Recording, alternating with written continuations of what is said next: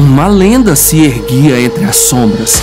Um leão que desafiou as leis da natureza, um titã que enfrentou o impossível e permaneceu triunfante até seu último suspiro.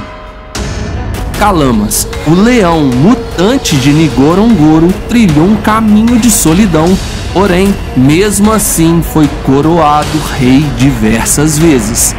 Por um golpe misterioso do destino, esse leão perdeu o símbolo máximo de seu poder, sua juba, o emblema de sua virilidade.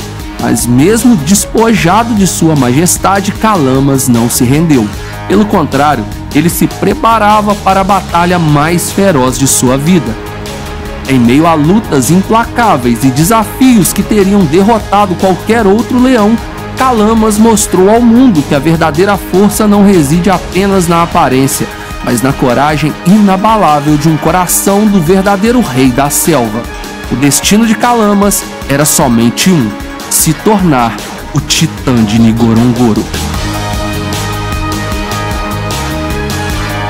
Esta é a história de um leão que desafiou todas as expectativas e cujo legado viverá para sempre na cratera de Nigorongoro.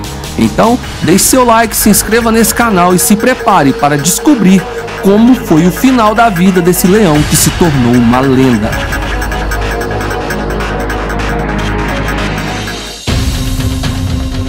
Calamas, um nome que surgiu entre sussurros dos guias e estudiosos de Nigorongoro. Descoberto já adulto em 2014, ele não era um leão comum. Seu porte descomunal e a juba espessa que descia até sua barriga o destacavam como um verdadeiro gigante. Um colosso que parecia saído de lendas antigas. Mas o destino de Calamas tomaria um rumo inesperado e inquietante. Calamas era um leão nômade, apesar de terem algumas teorias que ele teria tido um irmão e posteriormente um companheiro de coalizão, ambos perderam suas vidas, deixando o Titã sozinho mais uma vez. Como dissemos no primeiro vídeo sobre esse colosso, onde detalhamos o início de sua trajetória, da mesma forma que Calamas aparece em Gorongoro, ele some, ficando desaparecido por dois anos. Os guias locais acreditavam até que Calamas tinha sido abatido por outras coalizões de leões, já que ele era um leão solitário. Porém, Calamas reapareceu, mas dessa vez sua aparência denunciava algo muito incomum. Sua juba espessa havia desaparecido, denunciando que algo incomum estava acontecendo. Alguns dizem que Calamas era um mutante, uma aberração da natureza. Como poderia um leão tão majestoso perder completamente sua juba? O símbolo de sua força e virilidade. Para a maioria dos especialistas, no entanto, a resposta era menos fantástica, mas não menos trágica. Calamas havia sido vítima de um inimigo invisível, o estresse. Confrontos constantes, a pressão de ser um nômade em territórios disputados e a solidão que o acompanhava resultaram em uma transformação drástica e alarmante. Em um curto espaço de tempo, Calamas perdeu toda sua juba deixou de ser o titã de pelagem densa para se tornar um leão quase irreconhecível, sua aparência lembrando mais a de uma leoa robusta do que a de um rei da selva. Esta mudança não apenas surpreendeu os cientistas, mas também trouxe consigo um comportamento alarmante. Calamas começou a canalizar sua angústia de uma maneira assustadora. Ele caçava desenfreadamente, abatendo zebras, gnus e até búfalos com uma ferocidade que não era movida pela fome, mas por algo mais sombrio. Muitos dos animais que ele abatia eram deixados intocados, suas carcaças espalhadas pela savana. Um testemunho silencioso de uma mente atormentada. Esse leão carregava um sofrimento que refletiu em sua aparência e depois em seu comportamento. Para os especialistas, o comportamento de Calamas era um sinal claro de que algo estava terrivelmente errado. Leões não caçam por esporte. Cada abate é calculado, movido pela necessidade de sobrevivência. Mas Calamas parecia estar descontando seu estresse na caça, um ciclo vicioso que alimentava sua própria angústia. Sua transformação, tanto física quanto comportamental, levantava questões sobre o impacto do estresse em grandes predadores. Calamas, o leão que uma vez havia perdido tudo, parecia estar em um ciclo de autodestruição, mas de maneira surpreendente esse comportamento começou a surtir um efeito inesperado. Aos poucos algo mudou. O sinal de recuperação começou a surgir. Sua juba, que havia desaparecido por completo, começou a voltar. Não foi um retorno repentino, mas um processo gradual. A cada dia, novos tufos de pelos surgiam em seu pescoço e peito, como se o seu corpo estivesse reagindo à violência com que ele caçava, a intensidade com que ele lutava para sobreviver.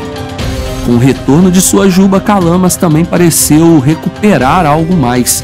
Ele redescobriu sua coragem e sua audácia, como se a regeneração de sua juba tivesse reacendido uma chama dentro dele. Calamas começou a se aventurar novamente nos territórios dos outros machos, à espreita, observando as fêmeas e esperando o momento certo para fazer sua jogada. Mas Calamas não era um tolo. Ele sabia que as coalizões que dominavam a cratera e seus arredores eram poderosas, e ele não estava em busca de uma guerra aberta. Calamas invadia os territórios com a mesma cautela que um fantasma se move na escuridão. Ele esperava a oportunidade perfeita, o momento em que os machos dominantes estivessem distraídos ou distantes, para se aproximar das fêmeas e deixar sua semente. Calama sabia que seu tempo era limitado. Ele se aproximava das leoas, acasalava rapidamente então desaparecia. No entanto, nem sempre Calamas conseguia evitar o confronto. Às vezes, as circunstâncias o forçavam a se revelar, a enfrentar os machos dominantes que não permitiriam que sua presença passasse impune. E claro, ele não recuava. se erguia com toda a imponência de sua juba recém-crescida e batalhava por sua superioridade. De forma impressionante, o Titã sempre prevalecia. Ele não apenas derrotava seus oponentes, ele os humilhava, os fazia fugir com suas caudas entre as pernas, ou então os deixava no chão sem vida, uma prova de que ele, Calamas, ainda era uma força a ser temida. Apesar de suas vitórias, Calamas nunca se permitia permanecer no bando. Ele não buscava a dominação de um território fixo, ele não desejava a responsabilidade de um bando permanente. Era um rei inclinado à vida nômade. Calamas, o leão que desafiou todas as probabilidades, havia sobrevivido a batalhas ferozes, ao estresse que quase o destruiu e uma vida de constante movimento. Mas como o tempo implacável continuava a avançar, Calamas também começou a sentir os efeitos da idade. Mesmo assim, ele não se afastou de sua natureza ousada. Pelo contrário, ele estava prestes a fazer o movimento mais perigoso de sua vida. Em um ato de pura audácia, Calama se aproximou de um grupo de leoas que pertenciam a uma das coalizões mais temidas de Ningorongoro, os Lake Quintet. O Lake Quintet era formado por cinco titãs, leões cuja reputação de violência e poder se espalhava por toda a região.